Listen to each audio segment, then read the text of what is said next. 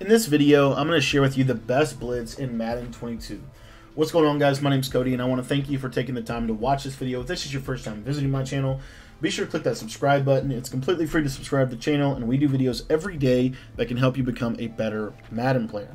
Okay guys, so the defense comes today from the nickel 335 odd Sam Mike 1. Now this is the best blitz in the game and I actually have a full defensive guide on the nickel 335 odd. If you want to get the full defensive game plan, there's a link in the description of this video. There is just, this is just one blitz. We have about 15 different blitzing concepts in the nickel 335 odd this year. I think it's probably um, my favorite defense to run. So if you want to get it, there's a link in the description. Just click that. It'll take you right over to the website.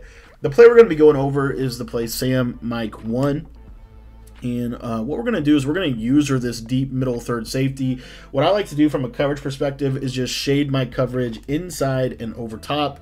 And then from there, really simple, we're just going to spread our line, spread our linebackers.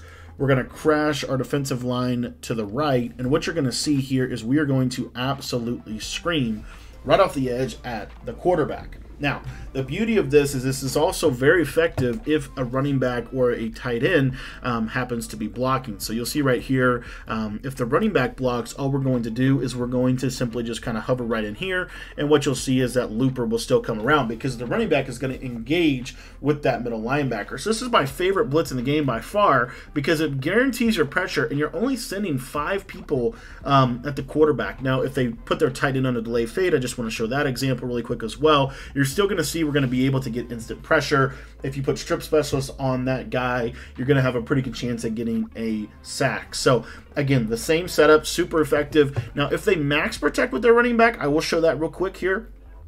Um, so like if they block their tight end and they block the running back, uh, I just want to show this really, really quickly. So I'm just going to click max protect what you're going to see is this blitz is still going to have a pretty good chance of coming in. It doesn't always come completely free, but it does have a pretty good chance of putting some pressure on them. And honestly, if you force someone to have to max protect in Madden 22, you're in a really good position anyway. But let me show it to you one more time. This is against max protect, and what you're going to see here is we're going to absolutely scream right off the edge. So thanks for watching the video. This is just a beginner blitz in our defensive guide. We have so many advanced blitzing concepts. If you want to get my full nickel 335 odd defensive guide out of the Giants playbook. I also threw in a little bit of a bonus big nickel over G breakdown.